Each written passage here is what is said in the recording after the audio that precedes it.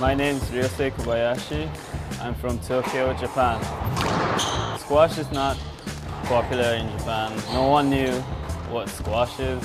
Your first reaction is like, oh, is it like tennis? But in a like room or box. First thing I made my mind to come here is because of Martin Heath, the former number four player in the world. Was obviously a childhood dream to be a professional squash player for me at least, but it had this added bonus of, of being this incredible worldwide sport, very small but spread all over the world. The team is sort of a microcosm of the experience that I had and I think the way the world is turning.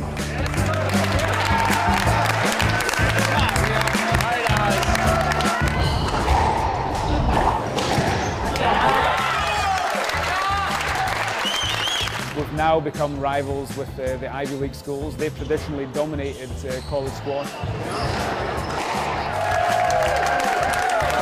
I mean, it's just great to play Princeton. It's great to, great to host them at, at Rochester. Uh, they are a rival. We have beaten them before, but we've lost to them a lot more times than we've beaten them. I feel like the level of competition is very high since all of the universities coaches recruit really good players from all over the world. Every match is exciting. One shot is my turning point. So I wait until the opportunity comes and strike it. That moment I felt like, oh, it's my game.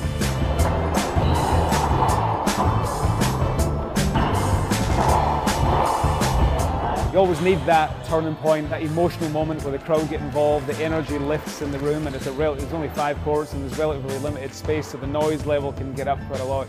The guys in the other courts feel that, and uh, we definitely want to create that atmosphere.